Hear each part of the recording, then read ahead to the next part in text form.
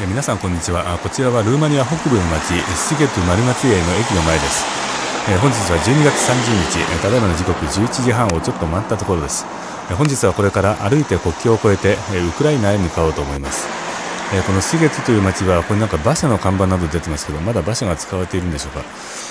か。あ実はですねこの町について全く調べてこなかったんですけれどそれであの国境の小さな何もない簡素なようなところかなというふうに想像していたんですが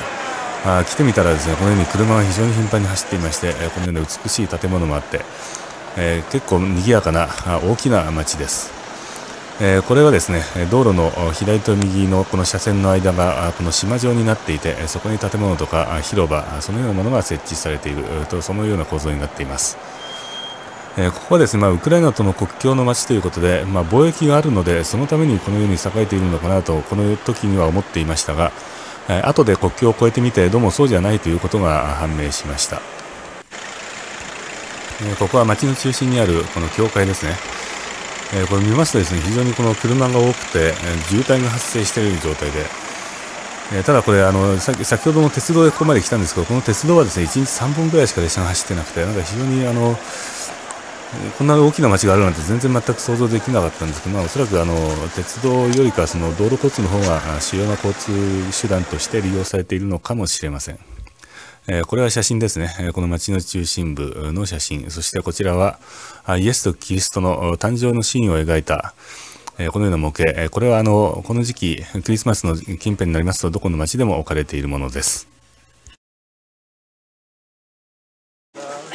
えこちらがですね市場の様子です。街の中心のすぐ近くに置かれていました、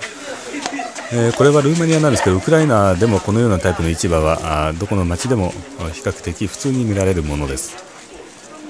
いろいろな野菜とか衣類その他のものが売られています。こちらの店は肉屋さんですかね。これがその市場の入り口の看板で一番左のピアッツァというのが市場という意味のルーマニア語です。えー、とこの駅はですねえー、町の中心と国境のちょうど中間、中間でもないかな、まあ、その間に位置していまして、えー、この駅に列車に着いた後、一度町へ行って、散歩をした後に、まあ、国境へ向かうということで、え国境に向かう前にまた一度駅に寄ってみました。えこれがですね、えこの線路の一番終点で、この先どうもウクライナ側にも線路はつながっているらしいんですが、列車は今のところ走っていません。昔は走っていたんでしょうが、今は走っていません。で、これがですね、国境の写真なんですが、あまり国境の近くは写真が撮れませんので、まあ、ここから撮っておきました。で、これですね、国境の検査はま写真撮れませんから、あのその後の国境そのものの写真なんですけど、このような、えー、1車線分の橋になっていまして、えー、交通量は非常に限られてますね。え、したがってさっきのその貿易が盛んなのかなと思っていたんですが、どうもこれは、これこの状態だとどうもそうでもないというような気がします。この橋の上側の作りもこのように木でできていまして、えこの国境に作ったこのような建築物っていうのは直そうと思うと当然両国の承認がいるので、まあ、なかなか作業が進まないということなのかもしれません。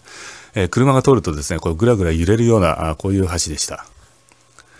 えこちらがウクライナ側の国境です。車がなんかこうたくさん止まっていますけれど、え交通量はあまり多くありません。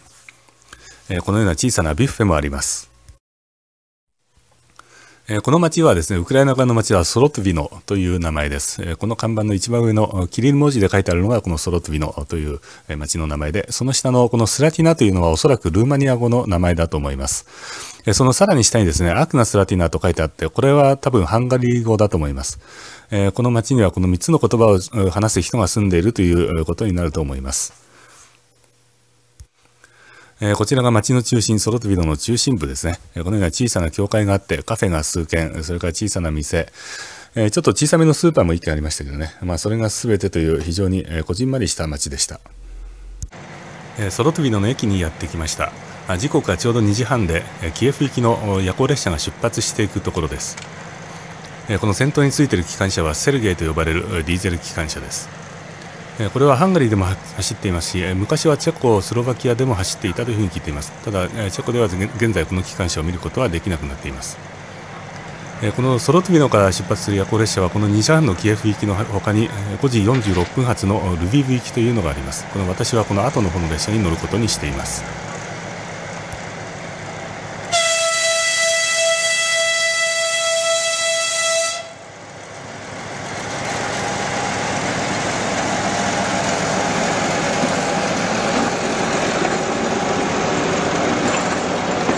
ゼル機関車を先頭に10両の寝台車を連ねて出発していきます。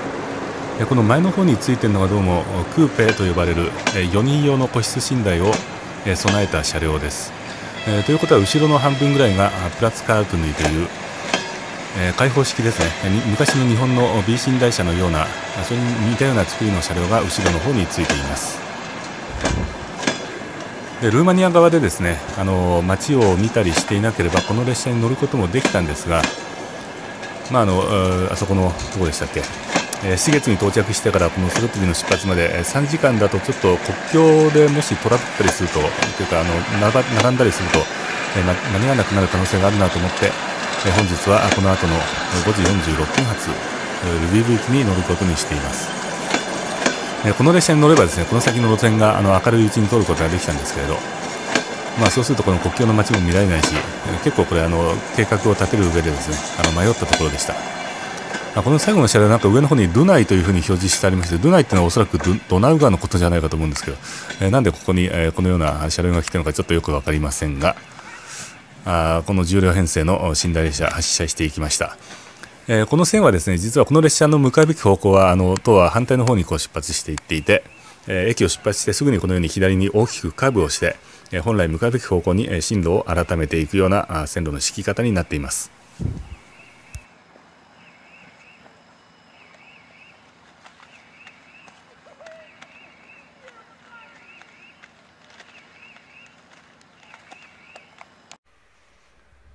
え、ここはウクライナルーマニア・ウクライナ国境のウクライナ側の駅ソロトビノです、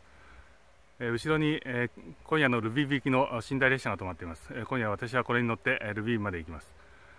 え国境のこちら側ウクライナ側は街が非常に小さくて、え静かな場所です、えルーマニアのように、え賑やかな大きな街ではありません、えもうちょっと向こうに残っていればよかったかなという気がしますがあこれからもう一度国境を越えて向こうに戻るということは現実的にできませんのでえー、あと3時間ほどありますけれど、えー、この近くのカフェにでも行くかどっか散歩をして過ごそうと思います、えー、こんなことに非常にこのようにいい天気で、え旅行日和です、えここは何もない駅なんですけれどこう後ろを見るとあそこでこう線路が終わっています、えこの線路はここで終了です。でこのウクライナの鉄道は旧ソビエト連邦ですのでこの線路の幅は1520ミリ。ヨーロッパの標準の1435ミリに比べて、ちょっと広くなっていますが見た感じではあまり区別はつきません、こちらの列車はディーゼル機関車を先頭に、というかあの進行方向はこの反対側なので、出発の前に向こう側に付け替えると思うんですけれど、ディーゼル機関車プラス、寝台車を9両つないだ急行列車です。3両目で煙が上がってますけどこれは暖房用の石炭ストーブです。ウクライナでは現在も石炭で暖房してしている車両があります。線路の幅が広いので当然この車両も大型です。こう下に立ってこう見上げると非常に背丈が高いのがよくわかります。このディーゼル機関車軸配置は CC ですね。えー、リビブスカージャズニツァリビブ鉄道管理局の所属の機関車です。デポチョップと書いてありますから、チョップというのはあのスロバキアとウクライナの国境にあるんですけど、そこの、えー、車庫に所属している車両のようです。えー、このさ、えー、一番機関車のすぐ横についているのは、えー、コンパートメント式4人用のコンパートメントが並んでいる車両で、えー、その後ろの方が、えー、プラツカートヌイというコンパートメントではない開放式の寝台車日本の昔の B 寝台に似たような車両です。えー、こちらはですね、ソロトビドの駅の駅舎です。えー、このような小さな駅舎があって、えー、こう、駅の名前が掲げてあります。えこの駅から発車する列車はですね、1日4本だけということになっています。さっきあの時刻表を見てみたんですけど、写真撮ったんですが、実は、あ綺麗に写っていませんでしたので、ご紹介できませんが、あ普通列車が朝夕1本ずつ、それからこの夜行の急行列車が2時半にキエフ行き、5時半にルビーブ行きのがそれぞれ1本ずつということになっています。駅の外れにはこのような高台になっていまして、カルパチア山脈が綺麗に見えています。それでは今回の動画はここで終了といたします。どうも皆様ご視聴ありがとうございました。よろしかったらチャンネル登録もよろしくお願いいたします。